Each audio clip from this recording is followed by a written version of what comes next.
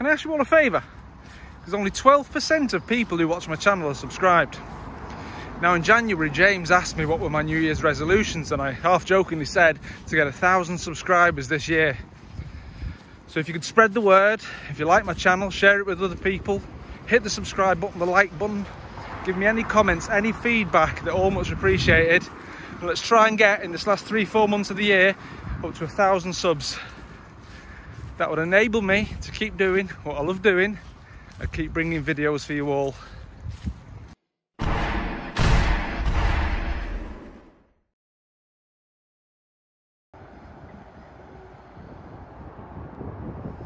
Hello everybody, I'm Jamie and if you're here at the Gear channel it means that you want another local adventure. I'm back in Widnes at West Bank and today we're going to have a bit of a history tour looking at some fascinating old buildings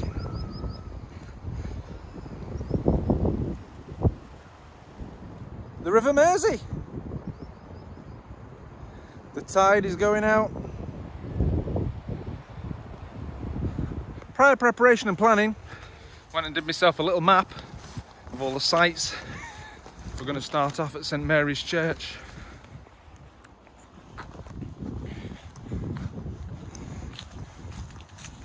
Consecrated in 1910, Gothic revival style. Quite a big beastie. When Coral, James, Steve and I did the Mersey walk, we didn't give this place much attention. We dropped down to the river by this point. How cool would it be if we could get up on that tower?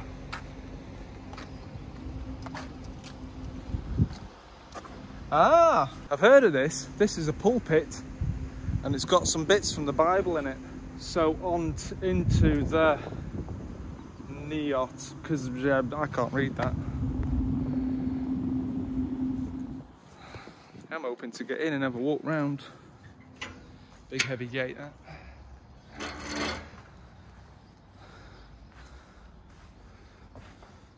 Ooh, our windows seen better days.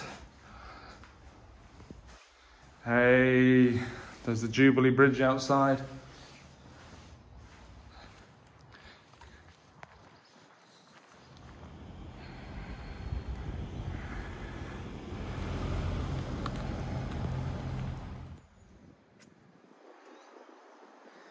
somewhat impressive actually.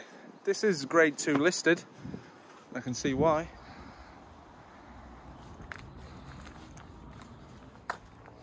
Okay, next up, we'll head down past the Catalyst Museum and pop our head in at the canal at Spike Island. Okay, cool.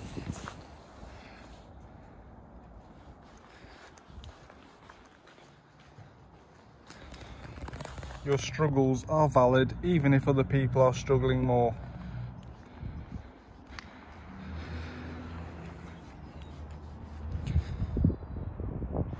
So the Catalyst is located in what was formerly the head offices of the Gossage Soap Company, built in 1860. It was originally known as the Tower Building. So basically it's a museum it's full of all the records about the chemical industry, ICI, all that. Never actually been in it myself, but uh, hmm. And here we go, the multimodal gateway.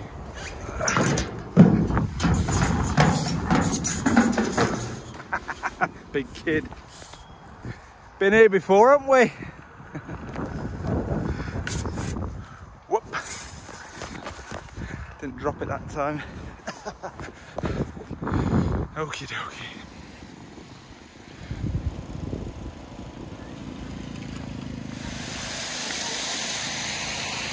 Before the Industrial Revolution, Widnes was basically just a collection of settlements on marsh and moorland.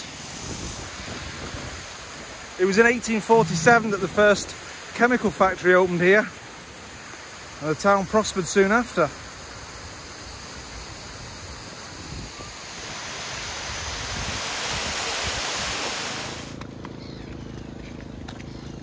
So Spike Island where I am now was at the centre of the British chemical industry. In 1833, Widnes Dock opened. It was the world's first ship to rail dock. But by the 1970s, there was no more chemical industry here. The place was cleaned up and turned into the park here that is Spike Island Park. There's some crazy swans then. I'm gonna head on into town now we'll see what else we can find, eh? Along the St. Helens Canal. Oldest canal in the world, remember?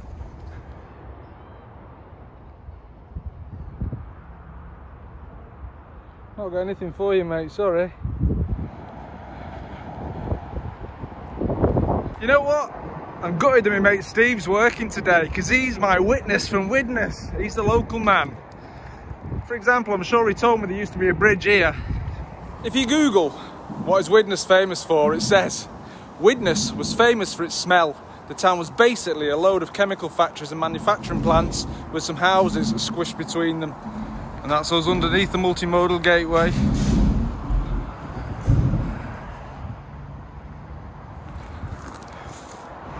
Yeah, it's all changed around here.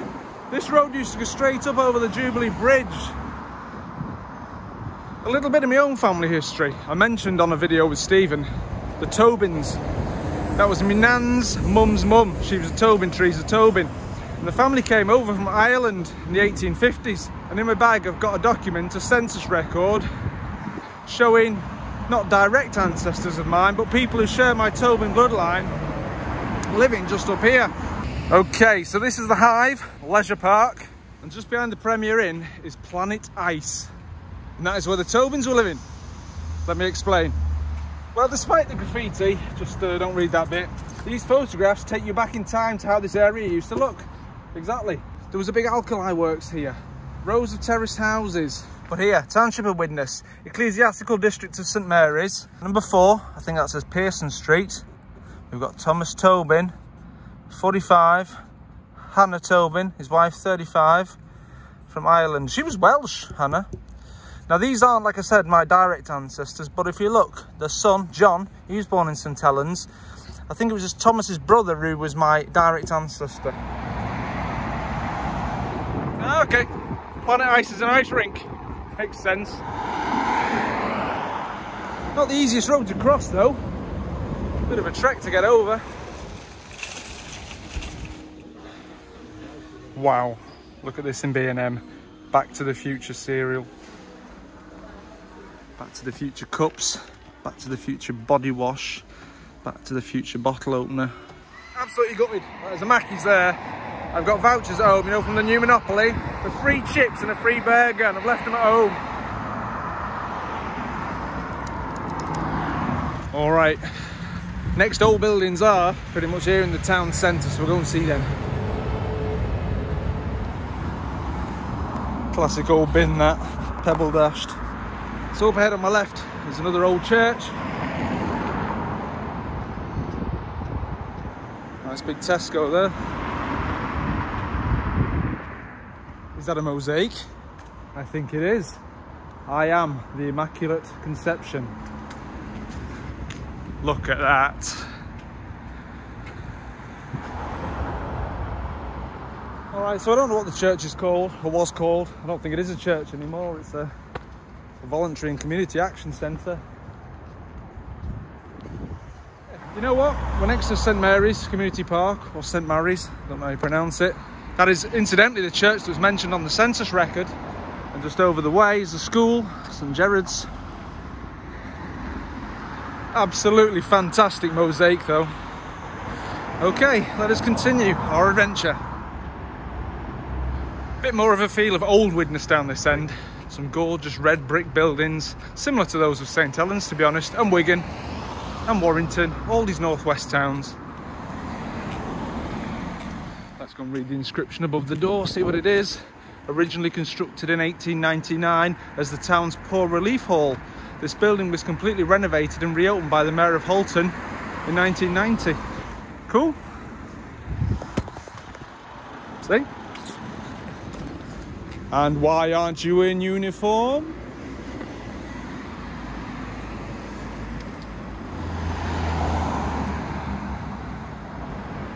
Cooperative Hall here, Victoria House, stained glass windows and everything.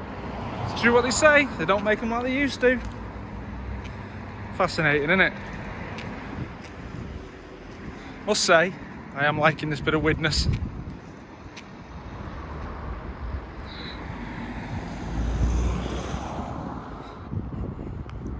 On the Facebook group recently, Widnes Council was getting a bit of stick, saying that they should never have hired out the old town hall and that it's nothing like it was in the olden days.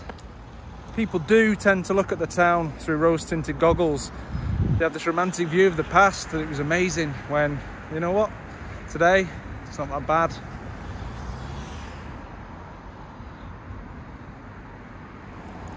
So what is it nowadays? Bar? Okay. Look at that. Absolutely gorgeous. Look at the detail. MDCCCLXXV 1885. Stunning, stunning brickwork. Look at the faces carved into the brick. The details. The animals, the pillars. The old sign for Victoria Square. Over there on the right is the old library. Let's go and have a look.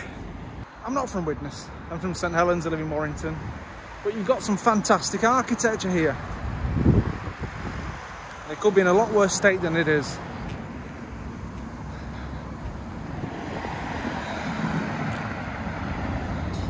Another one. No wonder that these buildings are grade two listed. Look at that. Look at it. Look at it.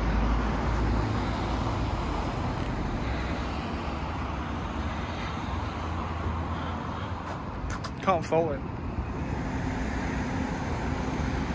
Just a bit further around here on my right is the old bus station.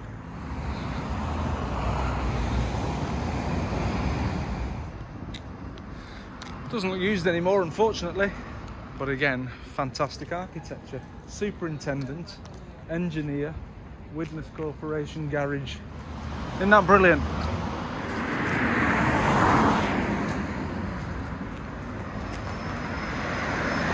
A viewer wrote to me and told me about Heinkel, a German bomber that got shot down during World War II and it crash landed up here on Dundalk Road in the park. So let's go and have a little walk along to the King George V playing fields. What a curious little house. At the end of the road here, you've got the Widnes Rugby Ground. Very cool. And just over here on my left is the park where the Heinkel came down in 1941. In reality, I don't really think there's much here for me to see other than some playing fields.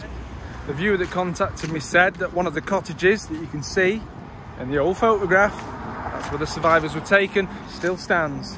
I looked up an article and in 2008 some excavation work was done here to try and find the traces of the bomber but all they found really was oxidized soil, soil and metal rust in it, basically.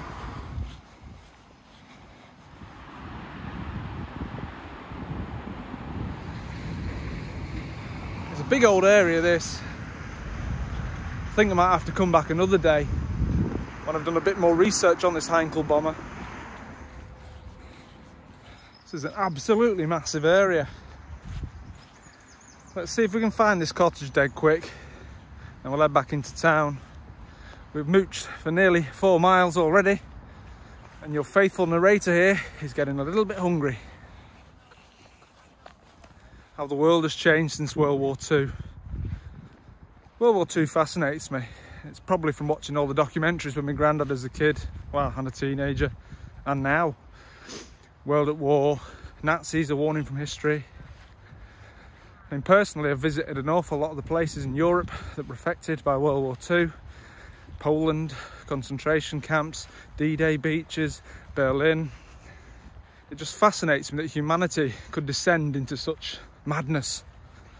Factories designed to kill people. It uh, blows your mind, doesn't it? And on that note, I've still not found this cottage that I'm looking for, or where the Heinkel came down. I mean, what would you do if you're just in your house one evening and then you hear a plane crash into the field here? And then some German pilots come out, people who've just been trying to blow up the neighbouring city. Would you take them in? Would you help them? In such unprecedented times, you don't really know how you'd react. All right, I'm really not quite sure, but my best guess is this corner of this rugby pitch is where the Heinkel came down and that the cottage is gone. Correct me if I'm wrong, put me some pointers in the comments below and we'll come back. We'll do a proper job of the Heinkel story.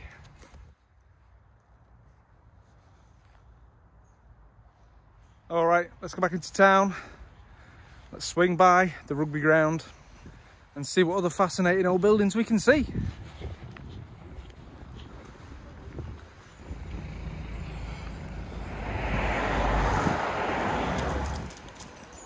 I don't know who Jesslyn is, but apparently she's sexy.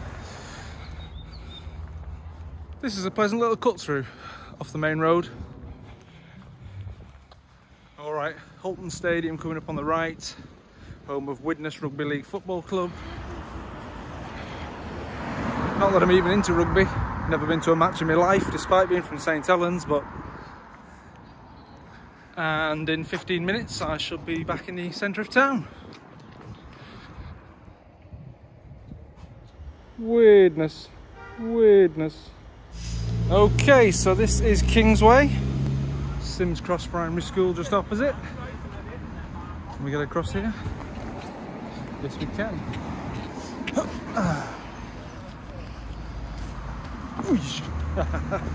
Jubilee Bridge. It's funny how people come and go from your life. I used to be quite friendly with a bloke called Anthony, and he had more Star Trek toys than me. Now that's saying something.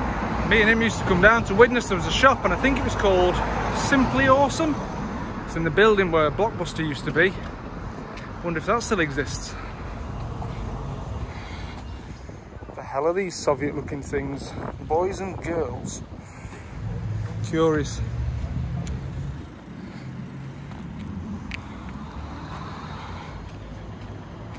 Freaking Awesome was the name of the shop. Originally it was here on the left, opposite the model train shop.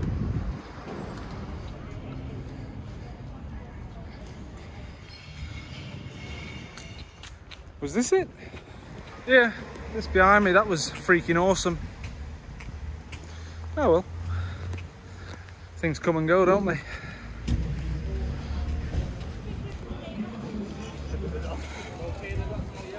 All right, everyone, I think we'll call it a day. Thanks for joining me on a historical tour of Widnes. Until next time,